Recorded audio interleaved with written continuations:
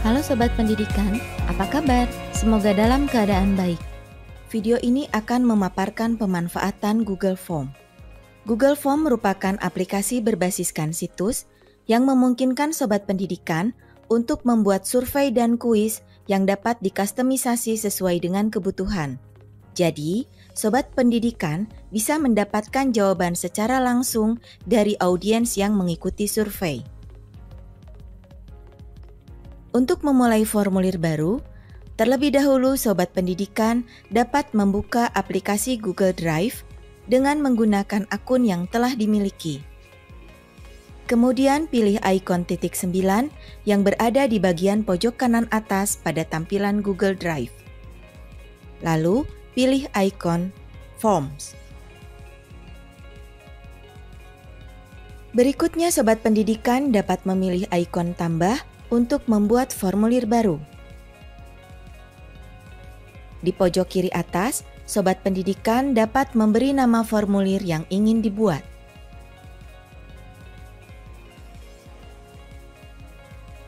Untuk menutup formulir yang sedang aktif, Sobat Pendidikan dapat memilih tanda silang pada tab. Jika Sobat Pendidikan hendak mengganti nama formulir, buka kembali Drive, kemudian pilih File, Klik kanan pada file dan pilih menu rename.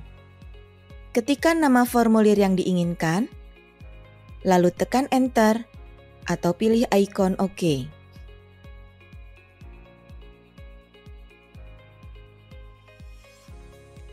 Untuk mempercantik tampilan dari formulir yang dibuat, maka pilih ikon Customize Theme di pojok kanan atas. Kemudian, muncul jendela pilihan theme yang dapat dipilih oleh sobat pendidikan. Pada theme, pilih header, lalu pilih choose image, dan muncul berbagai pilihan gambar untuk theme formulir sobat pendidikan. Terdapat pilihan gambar bawaan Google Form, atau dapat mengunggah gambar, gambar pribadi dari perangkat sobat pendidikan. Setelah memilih gambar, pilih Open, tunggu proses upload gambar selesai, pilih Done.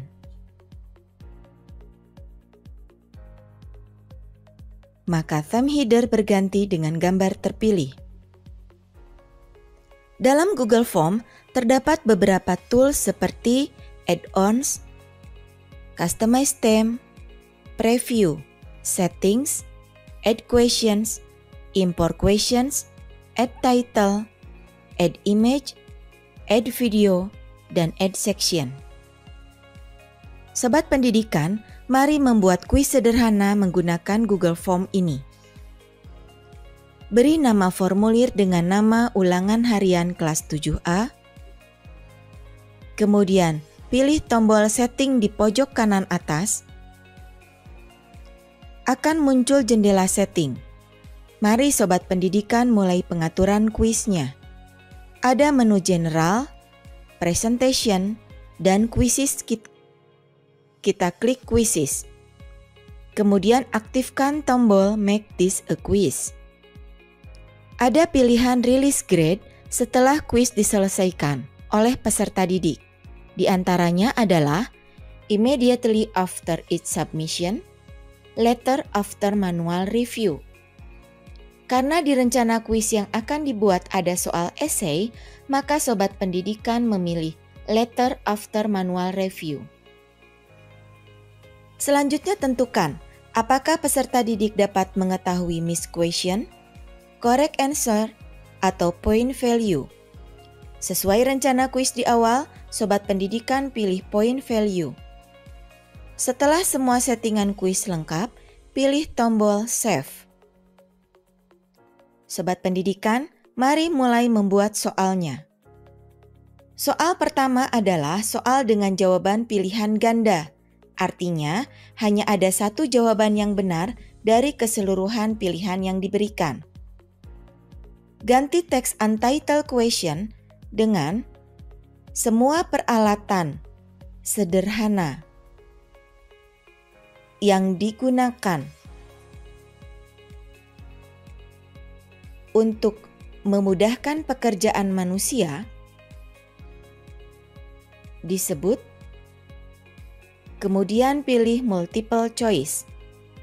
Text option 1 diganti dengan pesawat rumit.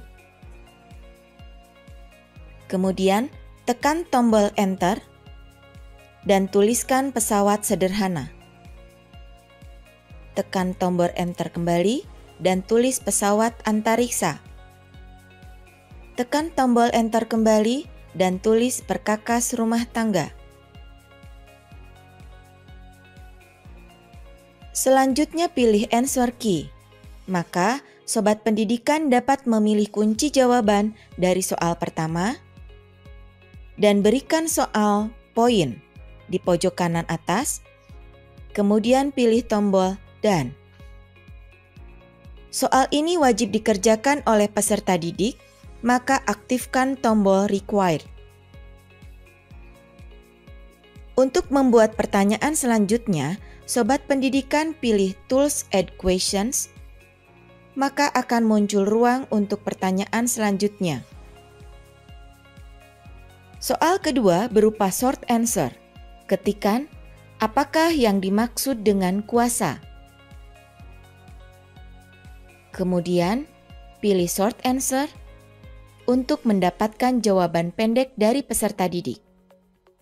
Sobat pendidikan dapat menuliskan jawaban yang benar pada answer key atau dikosongkan jika diberikan poin sesuai dengan jawaban yang diberikan oleh peserta didik. Jangan lupa berikan poin untuk soal kedua ini. Pilih tombol "Dan". Soal ini wajib dikerjakan oleh peserta didik, maka aktifkan tombol "Required". Selanjutnya, soalnya berupa teks dan gambar dengan jawaban lebih dari satu. Pertama, kembali pilih tool Add Questions. Ketikan. Perhatikan gambar beberapa peralatan berikut. Kemudian, untuk memasukkan gambar ke dalam soal, klik tombol image yang ada di samping question pilih gambar, pilih tombol open.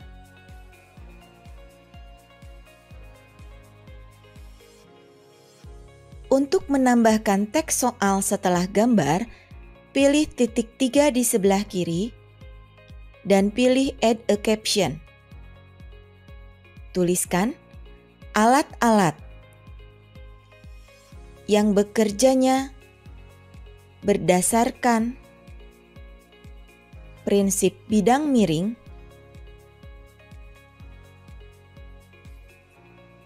ditunjukkan oleh nomor, kemudian pilih checkbox. Ganti text option dengan satu. Pilih tombol enter lalu ketikan 2, pilih tombol enter, lalu ketikan 3, pilih tombol enter, terakhir ketikan 4. Selanjutnya, pilih answer key untuk memilih jawaban yang benar.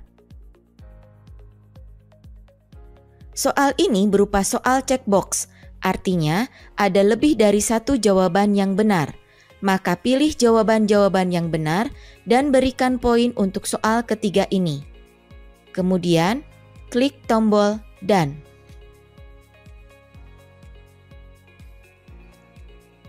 Soal ini wajib dikerjakan oleh peserta didik, maka aktifkan tombol "Required". Apabila ketiga soal telah selesai, langkah terakhir adalah mengirimkan formulir ini sehingga menjadi kuis yang dapat dikerjakan oleh peserta didik. Caranya adalah pilih tombol send di pojok kanan atas. Untuk mengirimkan kuis ini, pilihlah link untuk dibagikan kepada peserta didik. Kemudian pilih shorten URL. Terakhir pilih tombol copy. Dan bagikan link yang diperoleh kepada peserta didik Sobat Pendidikan. Nah, Sobat Pendidikan, itulah paparan mengenai pemanfaatan Google Forms. Tetap belajar, tetap semangat, selalu berkarya.